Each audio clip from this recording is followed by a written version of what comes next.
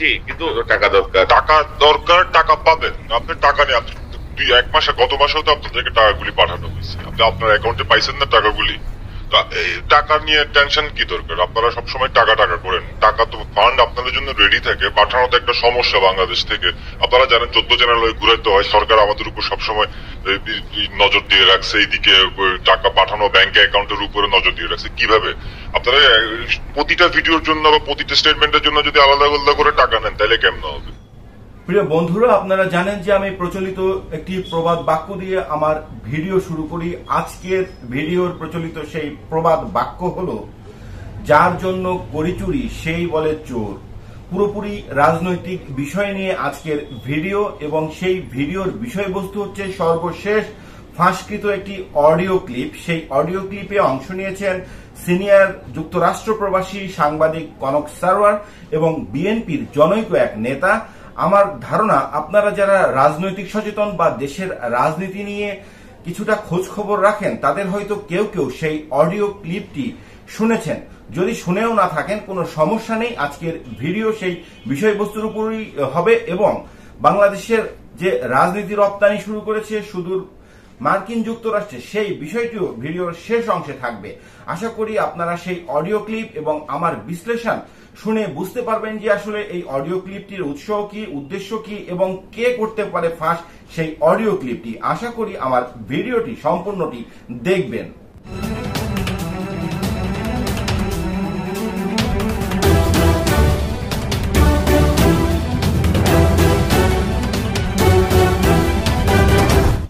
প্রিয় বন্ধুরা প্রথমেই বলে নিতে চাই, সেই ফাঁসকৃত ভিডিওর বিষয়বস্তু হচ্ছে পারস্পরিক লেনদেন বা দেনা পাওনা বা টাকা পয়সা নিয়ে বিরোধ এবং সেই বিরোধটিকেই কেন্দ্র করে অডিওটি ফাঁস।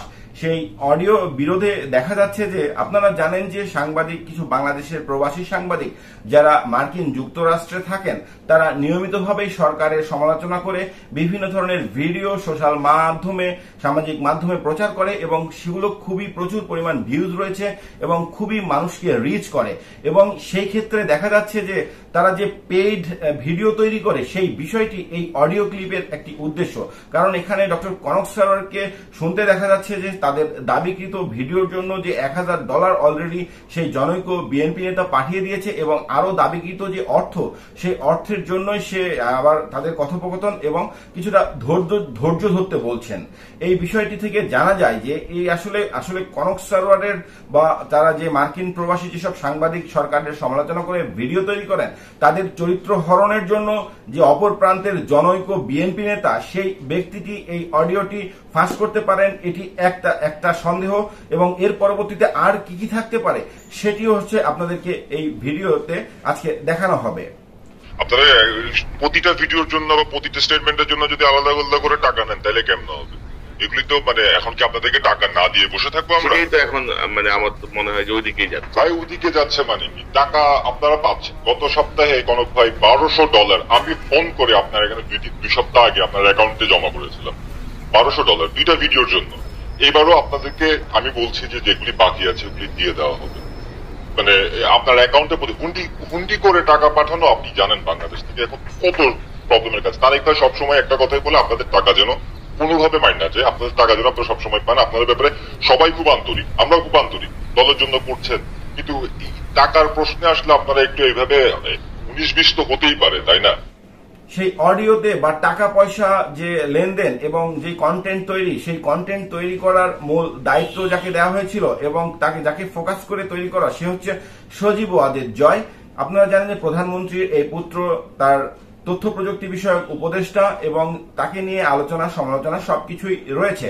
সেই সজীব ওয়াজেদ জয়কে নিয়ে স্ক্যান্ডাল তৈরি করার জন্য যেই প্রান্ত থেকে বিএনপি নেতা, যেই ডক্টর কনক সারোয়ার, সাংবাদিক কনক সারোয়ারের সাথে আলোচনায় অংশ নিয়েছেন সে কিন্তু বলছে যে সে কিছু স্ক্রিনশট পাঠিয়েছে সজীব ওয়াজেদ জয়ের উপরকে উপরে এবং সেই স্ক্রিনশটগুলো পাঁচ সাত দিন সময় নিয়ে তৈরি করা হয়েছে এবং তাকে বলতে শোনা যাচ্ছে যে একটি স্ক্যান্ডাল তৈরি করতে হবে এবং খুবই ইন্টেনশনালি খুবই কড়া ভাষায় স্ক্যান্ডাল তৈরি করতে হবে। তো এই ক্ষেত্রে যে বিএনপির নেতার যে ফোনালাপ ফাঁস এবং সজীব ওয়াজের জয়কে নিয়ে যে স্ক্যান্ডাল তৈরি করার জন্য তারা মার্কিন যুক্তরাষ্ট্রে প্রবাসী সাংবাদিকদের ভাড়া করছেন, সেই বিএনপি নেতা যদি তার এই অডিও ফাঁস করে থাকেন, তাহলে কিন্তু তাদের উদ্দেশ্যটা আসলে পূরণ হয় না। তাহলে এক্ষেত্রে বলা যায় যে সেই বিএনপি নেতা হয়তো এই অডিওটি ফাঁস করেন নাই। কয়েকদিন আগে আপনাকে আরেকটা ভিডিও বানাতে বলছিলাম। আপনি এটা বানান নাই পরে আপনি আবার আমতা আমতা করে বানাইছেন তাই না? হ্যাঁ ওটাও দামানো হয়েছে। কি নামানো হয়েছিল? আপনি আপনি আসলে কি নামাইছিলেন ওই ভিডিওতে? আপনাকে বলেছিলাম যে ওই জয়কে নিয়ে একটা স্ক্যান্ডাল বের করেন। সেই স্ক্যান্ডালের এগেন্স্ট আমি আপনাকে কতগুলি স্ক্রিনশট পাঠিয়েছিলাম, যেগুলি বানানো হয়েছিল অনেক কষ্ট করে অনেক কষ্ট করে পাঁচ, ছয় দিন ধরে খালি ওই জিনিসগুলি বানানো হয়েছিল। আপনাকে বলেছিলাম যে ওইটা নিয়ে ভিডিও করেন, জয়কে একটু ধরেন। জয়ের স্ক্যান্ডাল নিয়ে, একটা স্ক্যান্ডাল বানান ওটা নিয়ে। আপনি করছেন, করেন নাই। আপনি আপনার মতো করে এমনি একটা ভিডিও দিলেন, আপনি আপনার মতো করে, নিজের মতো করেই মন গড়া কিছু কথা বললেন, এরপর দিলেন, এটাকে ছেড়ে দিলেন। দ্বিতীয়ত, যেই সন্দেহটি করা যায় যে এই অডিও কে ফাঁস করতে পারে। বলতে পারেন যে ডক্টর কনক সরোয়ার তার পিঠ বাঁচানোর জন্য তার আসলে পিঠ বাঁচানোর কিছু নেই, সে বাংলাদেশে থাকে না। সে মার্কিন প্রবাসী একজন সাংবাদিক, সে মার্কিন যুক্তরাষ্ট্রেই থাকে সেখানে সেটেল হয়ে গিয়েছেন। তো সে সেখানে সরকারের কাছে পিঠ বাঁচানোর, অর্থাৎ সে যে একদম ব্লান্ডার বা একদমই স্ক্যান্ডাল করতে চায় না, সেই বিষয়টি পরিষ্কার করার জন্য সে এই তার এই অডিওটি ফাঁস করতে পারে। এই বিষয়টিও আসলে একটি সন্দেহর মধ্যে পড়ে।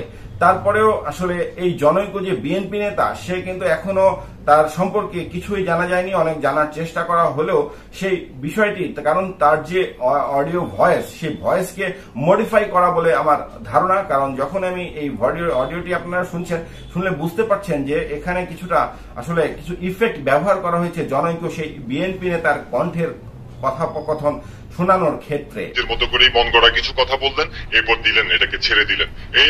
এগুলি তাও তো আপনাকে পে করা হচ্ছে ওগুলির জন্য। কোনো- অবজেকশন কিন্তু দেওয়া হয় নাই। আপনি ওইটার জন্য আপনাকে পে করা হবে। যেটা যেটা আপনাকে করতে বলা হয় নাই ওইটার জন্য আপনি ওইটার জন্য আপনাকে পে করা হচ্ছে। তবে অতিরিক্ত বাড়াবাড়ি বাড়াবাড়ি মানে কি? বাড়াবাড়ি আমরা করছি না বাড়াবাড়ি আপনারা করছেন। আপনারা এখন বাড়াবাড়ি করছেন না টাকার জন্য? প্রিয় দর্শক আপনারা জানেন যে এই যে ফোনে আলিপাতা বা ইন্টারসেপ্টার ব্যবহার করে মানুষের কল রেকর্ড ফাঁস করা, সেই ক্ষমতাটি শুধুমাত্র গভর্নমেন্ট নিয়ন্ত্রিত কিছু সংস্থার হাতে রয়েছে। এটি এটি কোনো ব্যক্তিগত কারও আন্ডারে নেই। যে কেউ চাইলে যে কেউ কারও ফোনে আড়ি পাততে পারে না। সরকার নিয়ন্ত্রিত নির্দিষ্ট কিছু সংস্থা রয়েছে, তাদের কাছে এই যন্ত্রটি দেশের রাষ্ট্রীয় নিরাপত্তা বা যাদেরকে নিরাপত্তা হুমকি হিসেবে দেখে, সেই বিষয়টি পরিষ্কার করার জন্য তাদের কাছে এই যন্ত্রটি সরকার দিয়ে রেখেছে বলে আমরা গণমাধ্যম থেকে জানতে পারি। অর্থাৎ এক্ষেত্রে বিএনপি এবং আওয়ামী লীগ, এক্ষেত্রে অর্থাৎ কনক সারোয়ার এবং বিএনপির সেই নেতা, তারা ছাড়াও তৃতীয় পক্ষ হচ্ছে সেই সংস্থা। সেই সংস্থাটি হয়তো এই অডিওটি ফাঁস করতে পারে। এছাড়া এক্ষেত্রে আরেকটি বিষয় পরিষ্কার হয়ে যায়। অর্থাৎ কনক সারোয়ার জনৈক বিএনপি নেতার বাইরে তৃতীয় কোনো পক্ষ যে এই অডিও ফাঁস করতে পারে, তার আরেকটি কথা হচ্ছে যে সজীব ওয়াজের জয়ের নামে যে- এ- ইতিমধ্যেই এই যে মার্কিন প্রবাসী সাংবাদিক ইলিয়াস হোসেন, কনক সারোয়ার সহ আরও যারা রয়েছেন, যারা কন্টেন্ট তৈরি করেন বাইর থেকে, তারা কিন্তু অনেক কন্টেন্ট তৈরি করেছেন। এবং তাকে নিয়ে যে স্ক্যান্ডাল তৈরি করা হয়, এই বিষয়টি আসলে জনসম্মুখে আসার জন্য সজীব ওয়াদের জয়ের পক্ষ থেকে অন্য তৃতীয় কোনো পক্ষ এই অডিওটি পাশ করতে পারে। এটিও একটি সন্দেহের মধ্যে। এবার আসি অন্য প্রসঙ্গে যে বাংলাদেশ বাংলাদেশ এখন উন্নয়নের চরম শিখরে আপনারা জানেন, সবাই বলছে যে বাংলাদেশ উন্নয়নের মহাসড়কে রয়েছে।